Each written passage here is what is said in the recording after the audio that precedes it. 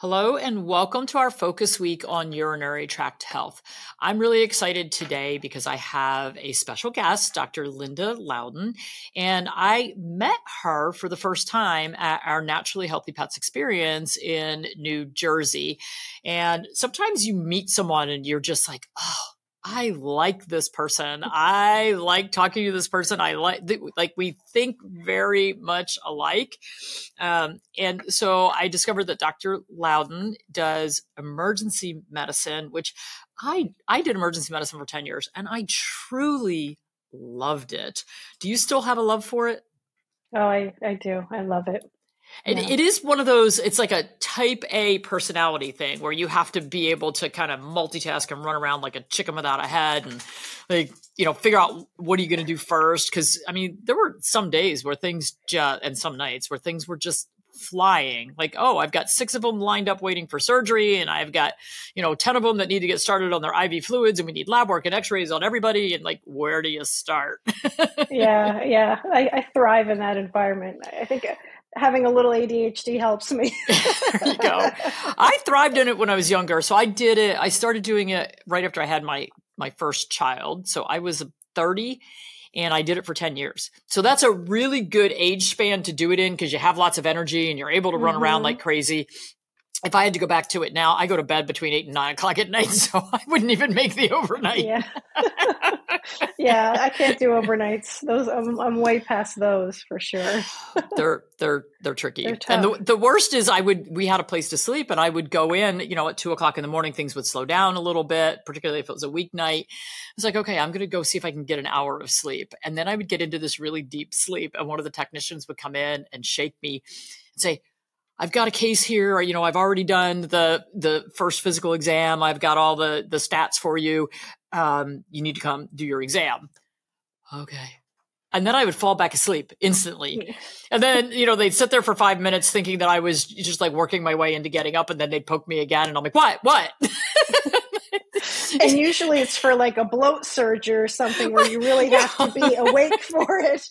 So sometimes it would take them three or four times to actually get me up and moving. Once I was up, I was fine, but it was just like, no, what? Huh? I remember I I was in private practice and we had to do our own emergency calls. And one of my clients called me with his Jack Russell that needed a C section.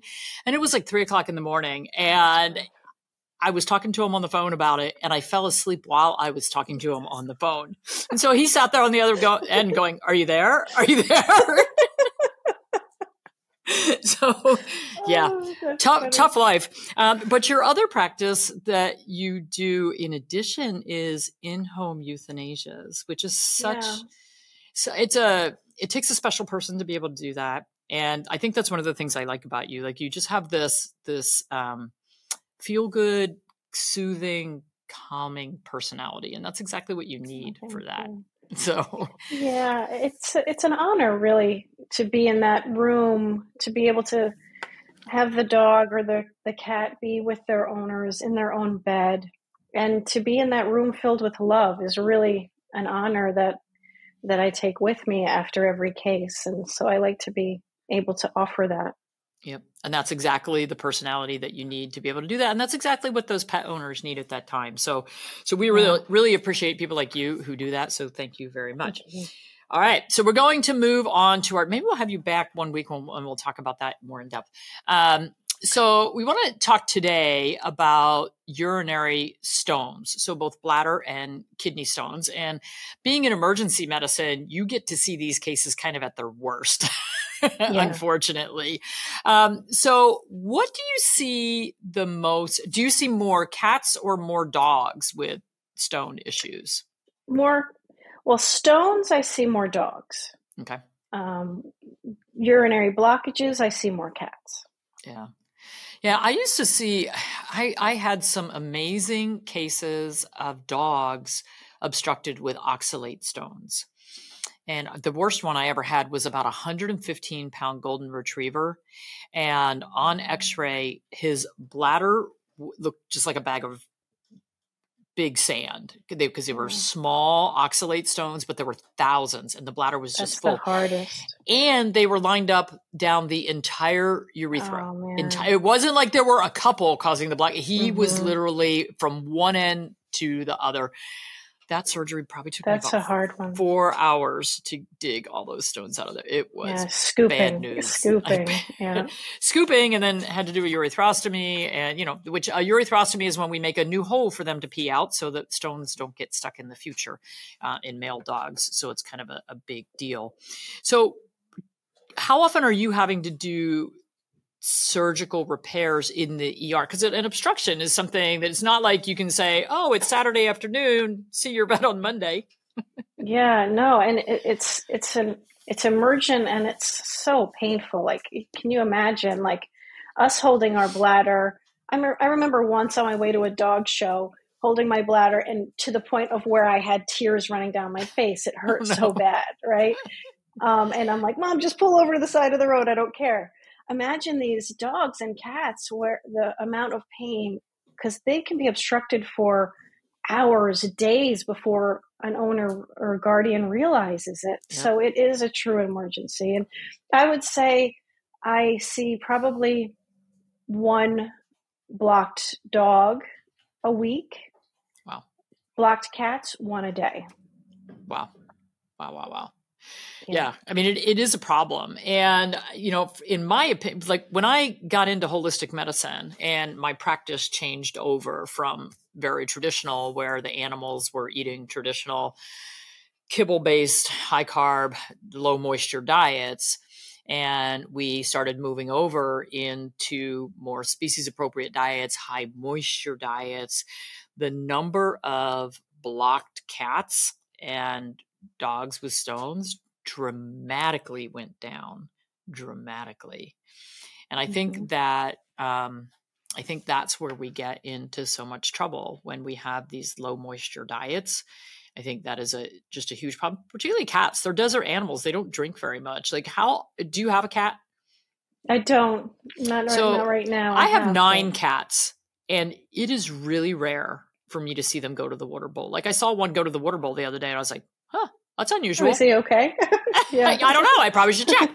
I mean, she's eating great. She's acting great, but uh, it is very unusual for them to drink because they get their moisture from their prey. If we're feeding them appropriately.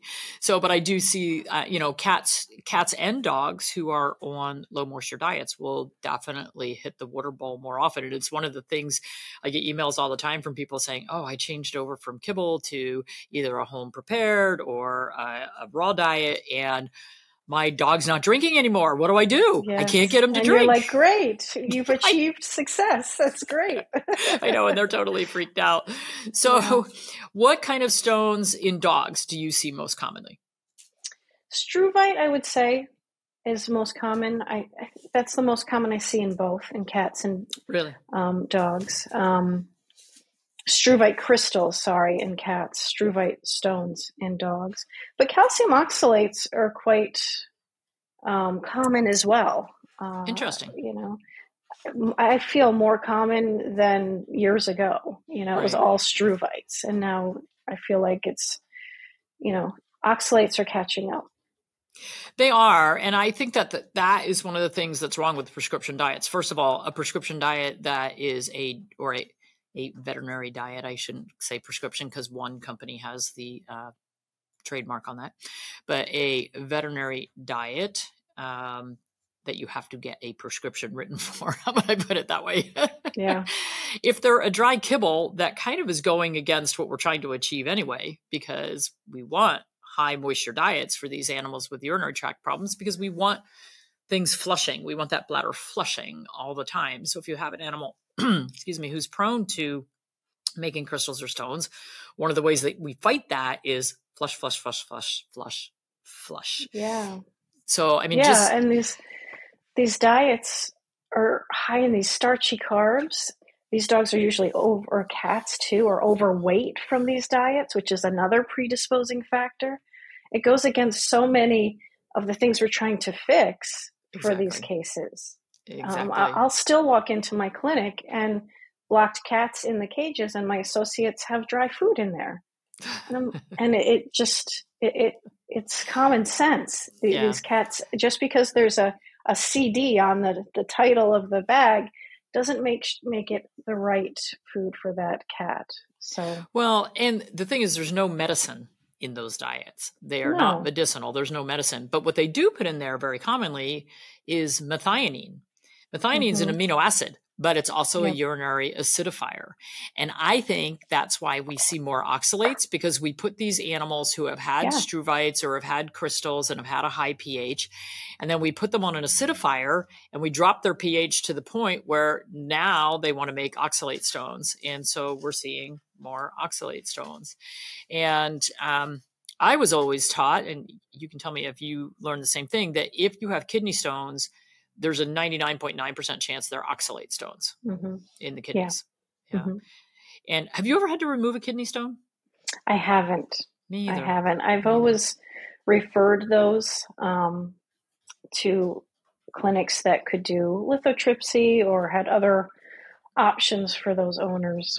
Yeah, I, I, think I only ever had one patient who actually needed the kidney stone removed. Usually they're just allowed to sit there unless mm-hmm. they're causing an obstruction. And I think I've only ever seen one in 36 years of practice that actually needed to get the stone removed. And now that, like you said, they have better ways to do it where they can use sound waves and other things to help break those stones down and get them to pass. And I've never had a kidney stone, but everybody I've talked to who's had a kidney stone say it's the most painful thing you'll ever go through.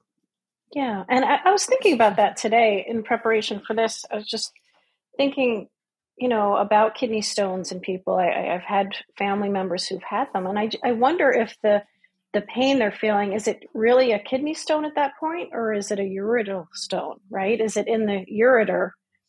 Right. Um, I think it's when the, when people are passing them. That's the, right. Yeah. Because it's a very tiny. It's a very very tiny little tube that doesn't stretch very much yeah. And these are sharp little stones oh in gosh. that little tube from the, the kidney Oxalates to the bladder. are ugly. So just think about, you know, something with little spikes on it. Mm-hmm. And oh my gosh, they they just they grab hold of the lining of the bladder and the lining of the urethra and they they just scrape it raw. They are, just talking about it. I know they are ugly, and they're usually small. Um, the oxalate stones usually don't get very big. Versus struvite stones, I've seen struvite stones the size of my fist. Yes, are, those are fun. like as, a surgeon, as a surgeon, not they, the they are fun. As a surgeon, you take them out and you put them on your drape, and you're like, it looks like I just went out to the driveway and yeah. scooped up a bucket full of stones. I mean, they're yeah, they're pretty they're they're pretty impressive. So the thing is, struvite stones are always caused by a urinary tract infection where the mm-hmm. pH goes up, we've got bacteria in there, and those bacteria, when they're doing their bacteria thing, they're releasing substances that cause the urine pH to go up. And then we've got all these red cells and all these white cells and all this debris in there. And then it all coagulates together to make these lovely stones um, with a bunch of minerals. Yeah. So I I love struvite stone cases, and this is what one of the things that really just irks me about our profession is an animal that has struvite stones removed, and they are dissolvable. Uh, I don't like how we dissolve them. It's with a very restricted diet that they're only supposed to stay on for 30 days, and I've seen animals on that restricted diet for months Forever. and months and months. Yeah, life. and that is bad news so because we are restricting their protein to the point where they mm-hmm. they don't have enough for their heart to function for their muscles to function. Like that is bad. It is a 30 day only prescription and then and then have you seen these animals? I feel like i always see them for uh, some other chronic disease right? They've been on these urinary diets their whole life and then i'm dealing with them with diabetes or cushing's or something else later on or cancer because they've been on this poor diet. And then they're trying to juggle, but I need to be on this urine diet. But he's diabetic. Get him off of the urine diet. But right. they, they're so it's so ingrained. It's in so ingrained, and that's one of the things that just make me crazy because a prescription is something that is used for short term, and then you reevaluate and do I need to stay on this? And I, the same thing happens in human medicine. People get like my husband questioned one of his medications the other day and I said, well, how long have you been on that? He said, I don't know, eight or nine years. Oh, since, um, since he turned five years. And I said, well, why are you on it? He, he didn't know. and I said, well, hasn't anybody reevaluated the medications? so we just got a concierge doctor. And I'm like, so can we figure out why he's on this and does he need to keep taking it? And it's just, it's like, it just, it just happens in human medicine yeah. and in veterinary medicine. But the, so struvite stones are secondary to bacterial infection. So we get rid of the stones, we clear up the fact the infection we get a negative culture and we've cleared up whatever was causing it so whether you know it's a, a an animal that's urinating too low to the ground or they've got a genetic defect you know with a tucked vulva whatever is causing them to get an infection so we figure that out we treat it and then all we do is monitor their urine and make sure they don't have infection and if they have mm-hmm. infection then we treat it and we don't make stones it's when the infections go on for months and months and months and it's amazing how many dogs in particular have urinary tract infections with zero symptoms yes which is so important like just going in for yearly blood work, make sure urine is getting done. Exactly. My my husband's a general practitioner vet, and he came home last night and he's like, "Guess how many UTIs I saw today because it snowed." Exactly. And I was just right? going to say, we always diagnose them in January, February when it snows and the dog goes outside and pees and the owners mm-hmm. are like, oh my gosh, there's blood in the urine or there's blood clots. Exactly. And I mean, I've even had owners who come in and say, here's the picture of what he peed out. There's a bunch of stones in it. Mm-hmm. Yeah. so, but that is when it snows, the urinary tract infections come flying through the door because now people know about it. And I actually had a dog it was adopted by one of my really, really good clients and good friends, this little Maltese. And the dog had incontinence, and we kept doing urinalysis on the dogs, and they were perfectly clear. Like, there, no problem at all with this dog's urine. And then the dog did something orthopedic, and she went to my friend, the orthopedist, to have a discussion about orthopedic surgery, and they x rayed the dog and found out that she had all these spinal malformations, and she also had a bladder filled with struvite stones. Oh, wow. Completely clean urinalysis, no symptoms other than leaking urine sometimes. And I was blown away. I was like, That's I'm so surprising. sorry we didn't diagnose that. That's really surprising. Yeah. But sometimes it happens. I had a um, another one. It came in for seborrhea, bad skin, greasy skin. And um, we ended up, you know, I did a workup on the dog and we ended up taking x rays, and the dog had a bladder full of stones. Owner had no clue. I had no clue. And so it's like, oh, you came in for a skin infection. You're going out with a need for bladder surgery. Sorry. Yeah. Yeah. And that's common. I mean, that is common. You know, the fact that you kept checking that urine and it was normal is uncommon, but urines aren't checked enough in general. No. And no. so when I, I, it is very common that I'm doing x rays all the time in the ER that I will find incidentally your dog also has stones. Yeah. Oh, by the way, yeah, we're we're going to fix his laceration, but yes, we might want to fix something else while we're at it. Yeah. yeah, it's it's incredibly common, and you know, I used to have because I'm a Cavalier lover, I would get a lot of people bringing their Cavaliers, particularly once they developed a heart murmur or you know something else was you know cavalier disease was was mm-hmm. occurring with their dogs. And I remember I had this one woman who drove a couple hours to get to me with her dog and when I saw the dog it was just like okay, well, yes, he has heart disease. Yes, he has SM. Yes, he has CM. Yes, he has luxating patellas. And I said, well, okay, we got to do a workup on the dog. And I said, we needed a urine sample. And she said, how do I do that? I've never, the dog's 12 years old. She said, I've never been asked to get a urine sample on my dog. I'm like, in 12 years, your veterinarian never told you to get wow. a urine sample. And I find that to be really common. Mm-hmm. And I, I, get lab results to review all the time. And, and, you know, does my dog have kidney disease? I don't know. You didn't give me a urine sample. Mm-hmm. you know? Yes. So critically, critically, critically important. But remember that you can, you know, if your dog has symptoms, if they're straining, if they're asking to go out frequently, if they're producing small amounts of urine at a time, uh, you definitely need to check a urine sample. But there's a good chance you might want to get some X-rays or an ultrasound. Yeah. Yeah, and especially those recurring UTIs, I see them all the time where a general practitioner will just keep putting them in, on antibiotics, and yes, and that'll happen either there's something exterior that hasn't been fixed, like a recessed vulva, like you you spoke about, something that's predisposing them. It's never been cultured. The urine needs to be cultured You need yes. to know what bacteria you're you're treating so that you clear it up. You need to recheck that urine to know that you cleared it up. Exactly. And then look for another secondary cause if it keeps happening. Check that x-ray for stones. Because you keep treating these dogs with back, uh, antibiotics, you're, you're messing up their gut biome, you're messing up their overall health. And, and then you're developing antibiotic resistance. Exactly. Yeah. So then you you end up with oh okay we finally found stones after seven rounds of antibiotics. Oh look we have stones because we never cleared up the urinary tract infection. Now we've got to deal with that, and now we're culturing something that is going to require killer antibiotics, or there are no antibiotics that'll take care of it, which is a huge yeah. issue. It really is. It really is. And then uh, the owners are upset with the ER doctor for spending so much money, right? exactly. throwing antibiotics is not fixing your dog. No. And the thing is, anti- another thing, antibiotics are expensive.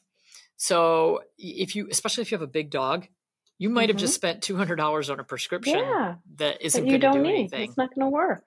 Right.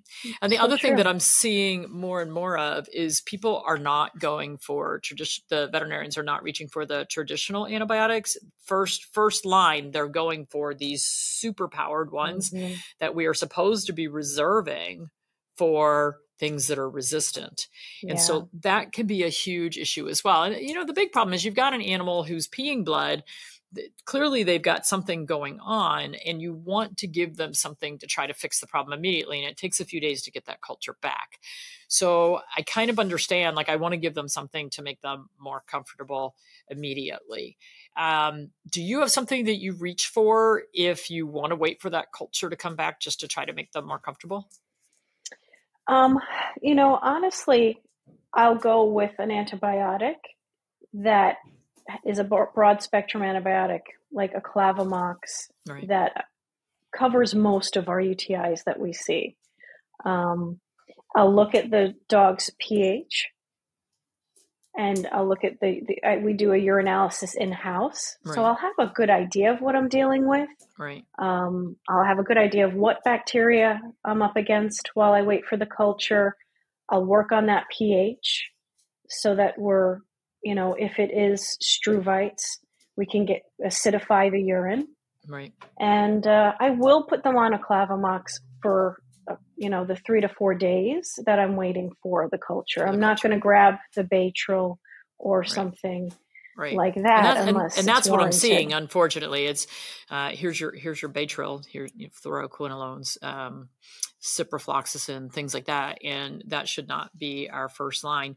So yeah. you know, other things that that we can do, we can get them to start using D-mannose, which is yeah. a great great um, antibacterial, soothing, Especially cranberry supplements. E. coli, right? Exactly. Cranberry supplements, particularly with E. coli, um, but even marshmallow root just to calm down that bladder. It's a lot of things that uh, people can do. For cats, glucosamine is actually one of the, the best things to soothe the bladder.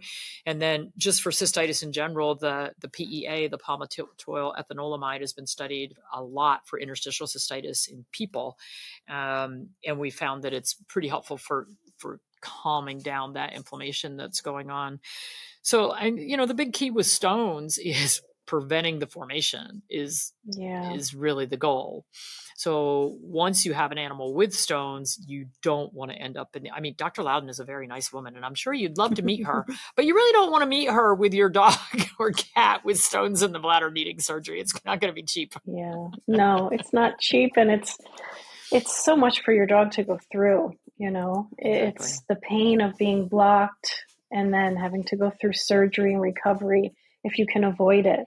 You know, and a lot of Absolutely. these predisposing factors is if a dog's, you know, holding their urine too long. You know, you don't want your dog going hours and hours throughout the day not having the ability to urinate because that's yep. going to give them a more concentrated urine. Um, you know, I'll, I'll, even hear of owners who hold their water because they want, you know, they don't want them to pee. Well, that's going to concentrate their urine. You're you're making a nice home for that bacteria and those stones to develop. Good and point. so, um, you really need to hydrate hydrate your dogs with that hydrating diet, not a dehydrating diet like a processed kibble that's got these starchy carbs in it that are just setting you know setting them up for chronic diseases and stone formation. Yep. Same with our kitty cats because they're not big drinkers. And so i mean i see yeah. I, I used to see urine specific gravities on cats that the the spectrophotometer only goes up to 1.070 and yeah. they're above that. And it's like oh my gosh that that's like the desert. That, that yes, it's so like the, dry. Yeah and it's a perfect place for stones to develop you exactly. know in that concentrated urine and and the specific gravity and the ph those are two really good parameters to monitor your cat and your dog after an episode or you find out they might have crystals or stones. And it's um, so easy to do. I mean, anybody can get the urine strips and test them at home and yeah. see where you are. So it's a, it's a, and so I would, I would say that anyone who has ever had a cat or a dog with urinary crystals or urinary stones in particular, because uh, you don't want to go through that more than once. I had one client, God bless her, wonderful woman. Uh, her dog had stones every single year and the dog was on the best diet and we did everything and it would flip back and forth it would develop oxalates and then it would develop struvites and then it would develop oh, oxalates wow. and then it would develop struvites like rough. this dog oh she just was so difficult and so she had surgery the first few years and then the specialty center got lithotripsy and had other ways of dealing so she ended up having some better ways to deal with it. But we could not figure out why this dog just wanted to do this every mm. year. And God bless her, she she stayed on top of it. The dog is doing great, um, and she, oh gosh, she's got to be early teens maybe by now. But the poor thing, I mean, it's just all the That's time. A lot. I know. Thank goodness so some, she found an owner who would take care of her. You oh know? Oh my gosh, this owner is amazing. Um, but it's it's you know sometimes we struggle to get to the bottom of what's causing the issue but you want to do everything you can and then keep them on a diet that is going to support them the best possible.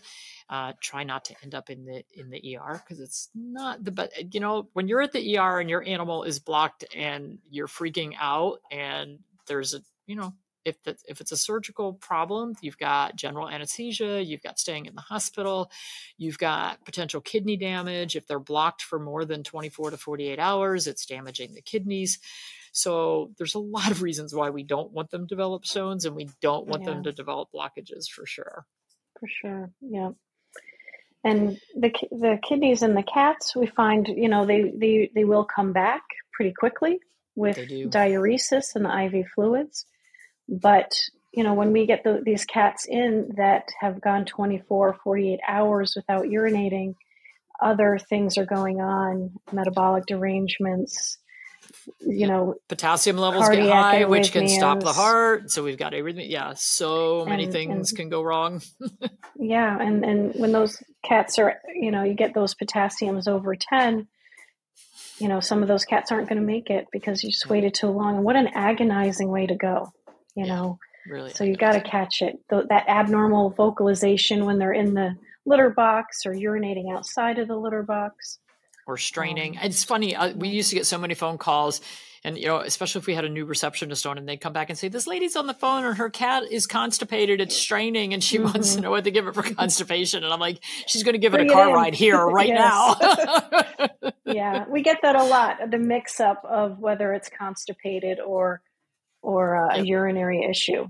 And yeah. it's better to be safe than sorry. And I was going to say, out. if in doubt, take your cat in because a blocked cat is a big deal. And the longer they're blocked, the worse the prognosis, the worse the chances for uh, full yeah. recovery. So, um, and when we were talking about struvites, the cats, that's usually a sterile cystitis.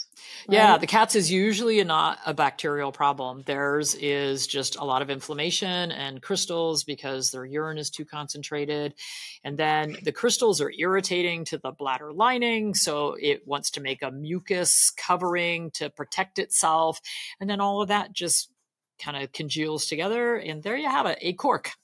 Yeah. And that, that urethral opening in cats is so tiny, it's just set up for failure Exactly. Um, they don't have a good chance. But one thing I see, and important for feline owners to know, is that in the ER, I see cats all the time come into me. They went to see their vet on Thursday because their cat was showing lower urinary tract signs. They went in, they just got a Convenia injection and Which went an home, which is an antibiotic, a long acting antibiotic, which I don't like using. But they get that and they go home. Now, this is a sterile problem. We're not treating anything.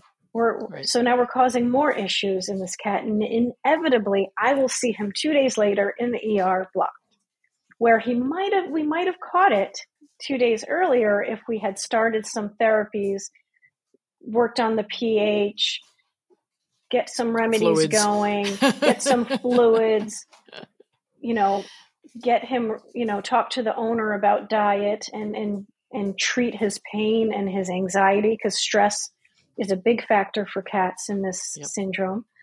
Um, so if if you you think your cat has a lower urinary tract issue and it's a male, and your vet wants to give a Convenia injection, I would say no. Well, yeah, because most of them are sterile, and Unless- so the, the the antibiotic is not doing anything to help the kitty cat. So Not at all. That's very true. Good point. Well, thank you very much for having this Thank chat with me. It is greatly It was lovely. appreciated.